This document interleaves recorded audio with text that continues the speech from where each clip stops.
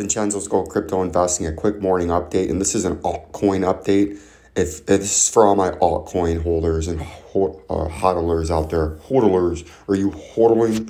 For all my hodlers out there, if you want the altcoins to start to pump, what you need to do and what you need to look for, and this is an industry exclusive uh, to Vincenzo's Gold Crypto Investing. Nobody else is showing you this, but if you want the altcoins to start pumping, you need Bitcoin dominance to get rejected and come back down and retest this 40.69% uh, Bitcoin dominance percent level. See that? You need it to get rejected there. And then the alts can pump because this would be in the Bitcoin dominance uh, 13% crash. And that would mean that would be 13% of Bitcoin spreading out to other altcoins if it's not straight out leaving to cash, but that it would be going to other altcoins, altcoins would pump, right? But if Bitcoin dominance breaks this key upper resistance right here at where it's at now, at the $46.18 level, if you break that and you start trading up like this in Bitcoin dominance, and you start doing something like that, and you end up way up here, altcoins are going to have a 20, 30% sell off, right? Because this would be getting Bitcoin dominance back up to 60%, and that would be a 30% move, right, from where you're at now. So if you're looking for altcoins to pump this week, option uh, this is the option you need if you want the altcoins to start to pump. You need it to correct and trade down to this level.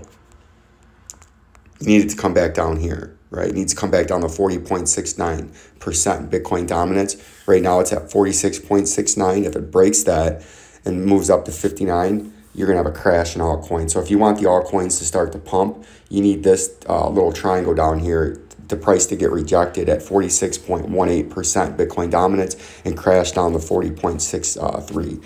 And then Bitcoin, uh, the altcoins will pump. But if, if Bitcoin dominance breaks through and heads way up here, your altcoins are going to crash, right?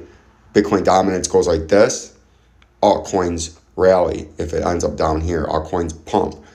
Bitcoin dominance ends up in here and moves higher, altcoins stagnate and crash, right? It's just how this works. If you're looking for the altcoins to move, you have to wait for this downtrend in Bitcoin dominant or uptrend to stop, right? You're in a big uptrend right now in Bitcoin dominance. You're up since the 21st of September, you're up 16.69%, right?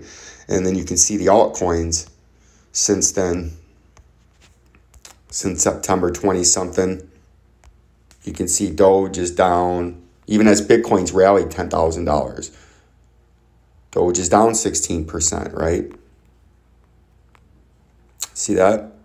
If you look at XRP, it's down and we know it's down because I've been calling for it to be down. 16th of September. Or 27th of September. Back there, I don't I'm looking. But you know, XRP, oh, look at that. See, it kind of traded through that. So we got some big things about to happen in XRP. See that you broke up through there last night, this little uh, resistance zone. You kind of traded sideways, right? So you're eventually going to do this and start to come down. You're about to have a huge move in XRP unless Bitcoin dominance. Now, if Bitcoin dominance uh, gets rejected where it's at now and trades back down to the 40%, this could come up here, right?